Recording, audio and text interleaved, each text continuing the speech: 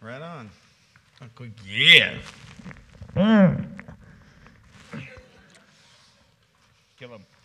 Ladies and gentlemen, Leon Gersing. That's me.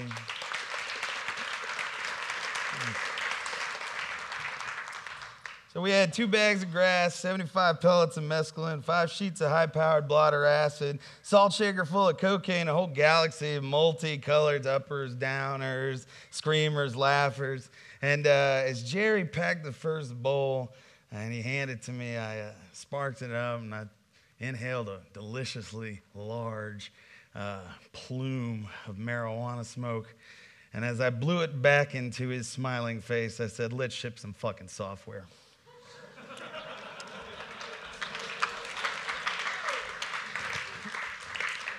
I'm Leon. Uh, I'm a single dad. I do a lot of coding.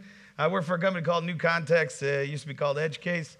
And I also ship mobile software on the side under uh, No Spoon. If any of that is of any interest to you, then uh, holler at your boy. Uh, so, just a, a, little level setting here at the front is that uh, a lot of what I'm going to talk about uh, is stuff that not a lot of people want to measure. So, it's a lot of conjecture in here. Uh, so if you want to argue about it, uh, you, that's totally fine and very appropriate. So, uh, and this is a true and utterly infallible statistic. you heard? Uh, so, so uh, when I start talking about this, this this uh, particular talk is, you know, it's a much longer form, so I'm going to jam it into 20 minutes. But what's interesting is the context. So uh, what I'm interested in is, uh, is how you take uh, common idioms that have been that become what we consider to be the natural way, the definitive path, the dominant culture, that which we accept as a culture, and uh, what we can glean from, learn, and pull from subcultures, fringe cultures, and of course countercultures. Now, fringe is way, way out there, and usually it's so batshit crazy that uh, it's very hard to assimilate anything from there. Uh, but it's fun to go visit, right? So uh, make sure you go check that out. Uh, subcultures tend to be microcultures that actually live and coexist with the dominant culture. Uh, maybe there are a few bits here and there that they, they still like about the dominant culture, they can kind of react to, they can uh, interop with, uh, but they kind of have a different take on what is perceived as normal. And there seems to be a nice symbiosis between the subculture and the dominant culture. Now, the difference between the subculture and the counterculture is pretty much attitude, right? So it also coexists, but it exists in a different way, almost as a combative way or as a well, counter version of the dominant culture. So, a uh, pretty definitive, uh, oh, yes, and I must also mention, uh, thank you, brother uh, Frank, uh, is that we all wear a uniform. So, no matter how different you think you are, of course, you're going to fall into some subset of a group somewhere, and that's okay, right? So, uh, yes, celebrate your individuality and uh, know when you're enjoying your uh, unique flower that is you. Uh, but also remember that we do all, in fact, wear a uniform. So, I'll talk about this particular idiom in the context of process. So, for a very long time, waterfall was the dominant culture uh, way the enterprise, large enterprise, and even as smaller ones would come on, they say, all right, it's got to go through this design phase, trickle on down here to the dev phase, trickle on down to the legal team, trickle on down to this other team. Oh, we fucked it up, send it all the way back to the top and do it all over again, right? Is all common knowledge? Yes, I thought so. All right, so a bunch of hippies got together and decided, man, let's take all that apart. And we're going to distill it down to the coolest stuff, man. And we're going to talk about four concepts. And it's going to be a total philosophy. And people will be free to do whatever they like. And it'll be a beautiful world. And we'll all communicate. And it'll be amazing. And then the dominant culture eventually goes and consumes that counterculture because that counterculture is successful, right? And they say, wow, they must be onto something. But I don't think we could get away with letting people do whatever they want. So we are going to start stamping out some uniformity to it. And we're seeing this in Agile now. So everybody know who's on the left? Yes. Gary Oldman, right? so we got Sid and Nancy over here. And then, of course, Punk is dead. And we got what we call Punk today, right? So it may not be dead, you just have to search for it. But what we would assume, and what some people will come into as identifying as a particular thing that actually had some roots in some historical context that made sense at the time, is washed away. And then what they experience as a particular philosophy or idiom is completely different than why it came to be. The dominant culture, because of need, that created the subculture, came back to the subculture of the counterculture and took it back, but turned it into something else. Knowledge without application is worthless. If you just take the knowledge and you don't get the wisdom, you leave a lot out of the equation. Yes? Or you do this, right? Familiar with cargo culture? Yeah, I'm sure that plane flies really well, doesn't it? So, we look at what I see in a lot of enterprises and a lot of small groups today, where we're relying on what we call agile, or what my friend Baker likes to call agile with a little a, or what I heard today from, uh, from the Walker, uh, Wisconsin Ranger over here, uh, ScrumBut. We do ScrumBut, something else uh, or Scrummerfall, I've heard. And there's an overemphasis on certifications, on a dictated path, on a well worn and tried methodology for success. We increase our standardizations, we increase our process, we communicate less, and we cover our own asses. There is more and more noise and less and less signal. You still call it agile, but the manifesto's four principles simply get obfuscated and lost. This is a danger when the dominant culture takes over the idioms, they gapes the motions of the subculture, but takes none of the wisdom along for the ride. And when you see this, it's up to you how you want to respond to it. Some folks will tell me, Leon, but that's reality. That's the way it is. And I say, really? That's your reality. What are you going to do about it? The simulacrum is never that which conceals truth is the truth that conceals there is none. The simulacrum is true. You can defy any reality that is put forth before you that you do not agree with, that doesn't make sense. This is how we got some of the best things we did out of this community. This is one of the things that drew me to Ruby. This is one of the things that drew me to all the other crazy languages and platforms and communities that I like to go play with is the fact that we've got a lot of people in a dominant culture saying that this is what is right, this is what is correct. And if I don't agree with it, I can either stay and fight, I can stay and work against how I feel about it, or I can simply go find a different uniform and go play with a different subset of cats. But it is up to you to go and do it. So, reality in its entirety is how you perceive it. I hope there's no light sensitive people that uh, we were hearing about earlier. That might make you fall down. Sorry about that. Look away. I'll change it in just a second. So, uh, if, uh, if it is how you perceive it, and you think of your world, and you are told constantly, and especially here in the West, right, in America, you know, you're always told, and a great Alan Watts uh, put it, put it in a, a, different way, where he would say, you would imagine going to school when you go to kindergarten and say you do well in kindergarten, you're going to go to first grade, you go do well in first grade, you're going to go to second, and then third, and then fourth, and you keep that up, you're going to go to high school. And when you're done with high school, you're going to go to college, and then you go to college, you're going to go maybe get your master's or your doctorate, or you're going to enter the workforce. And then once you get to the workforce, you're going to get a raise, and then you're going to get another job, and then you're going to be a manager, then you're going to be a vice president, then you're going to be a director, and then you're going to be a CEO, and then you're going to die with all the money in the world. The end. Life lived happily ever after, right? Exactly. Amen. We know that not to be true, and yet a lot of us continue to fall into that same pattern, that same choice. So there are different ways of looking at the world. You do not have to learn the same way that everyone else does. You may not learn the same as everyone else does. Uh, this leaves people feeling impotent, feeling powerless. I love this quote from Brave New World a feeling that I've got something important to say and all the power to say it. Only I don't know what it is, and I can't make use of any of that power. That is terrible. Instead, I'd rather have this kid's attitude take over the world, it is mine. And I like to remember that there really is only one rule, that there are no rules. There is only your perception. There's only that which you perceive to be true to you at any given moment, and that can change at all times. So, someone might tell you the way to figure out large, complex computing problems is to read a bunch of books.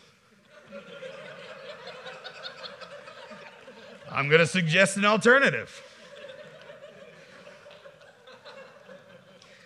So this here is Dennis Weir. He wrote a great little article called The Use of LSD 25 for Computer Programming. In 1975, couldn't figure out this crazy thing he was writing in assembly, and uh, went and took a little bit of LSD, all partied all night, wrote a lot of stuff down, did a bunch of diagramming, woke up in the morning and went, wow, half of this is bullshit, but this is perfect. And it, there was nothing that anyone could have told him any other way. He had tried every other idiom, every practice, every technique that had came before him, and it didn't work. So he went off the deep end and tried something completely different, and that system was in use for 20 years. So well done. The subjective reality of others did not have to be his. Baudrillard has a great quote We live in a world where there is more and more information and less and less meaning. So you can keep compiling information until you're blue in the face. You could continue to pick up ones and zeros and ones and zeros after ones and zeros, but if you don't understand why you're playing with them, then it's going to feel more and more empty. You will feel more and more like the jack of all trades and the master of none. Yes? So, uh, you know, in fact, a side note, uh, somebody said hashish was going to be gone before my talk, and I got really excited. and then I met him. It wasn't exactly what I was hoping for, but he's beautiful and he gives wonderful hugs. Uh,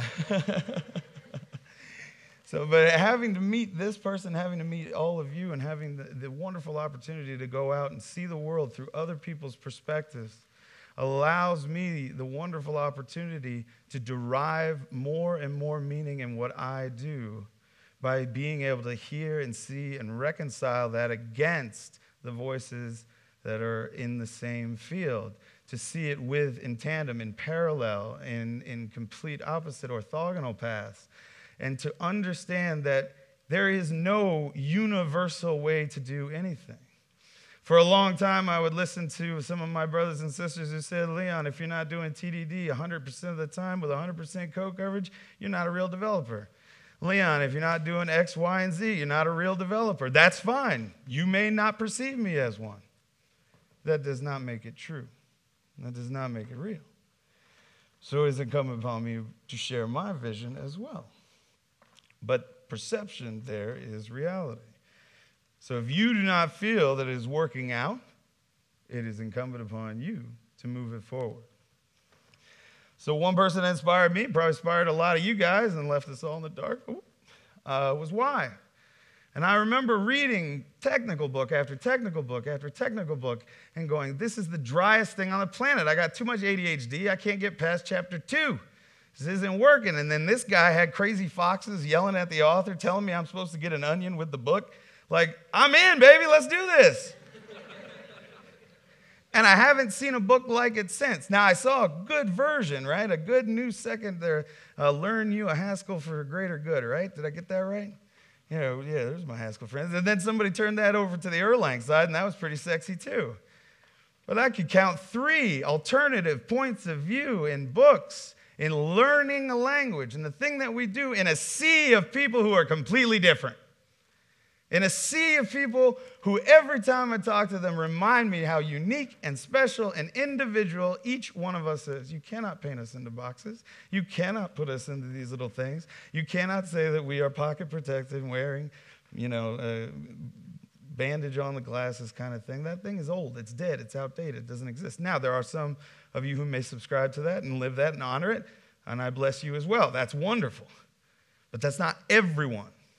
And it's up to us to remind the world that that's the case, that we are a wonderfully diverse subset of experts and individuals.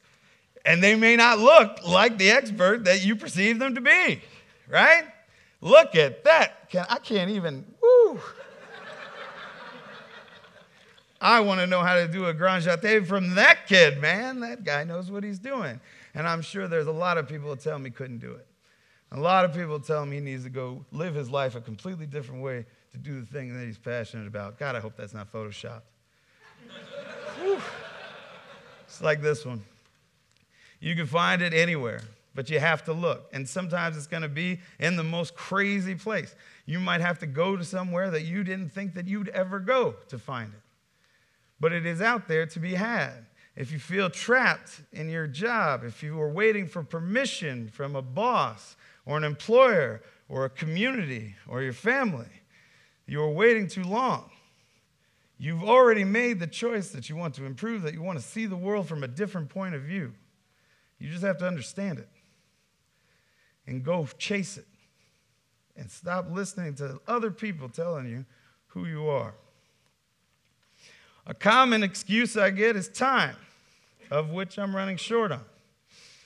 And they'll say, uh, Leon, I want to really learn Ruby, but uh, I don't have time to do it. And I say, You're absolutely right. Leon, I want to learn how to program in Erlang, but I don't have time. Yes, you are absolutely right. You have all the time in the world to do whatever you want. It's up to you whether or not you decide to take it.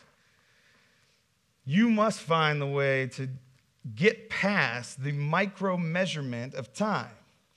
At this moment in our life, we live in a time where we can measure it down beneath a nanosecond, right? We can go crazy with it.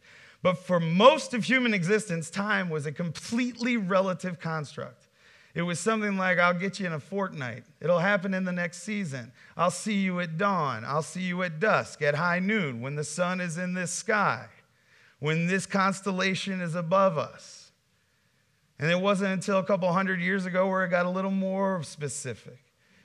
And then another hundred, it got even more specific. And in the last 20, it's gotten ridiculously specific.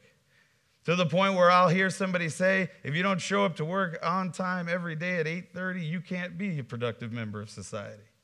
Really? What if you work really well at night? What if you're like me and you like to be up from midnight to 5? What if that's your most productive time?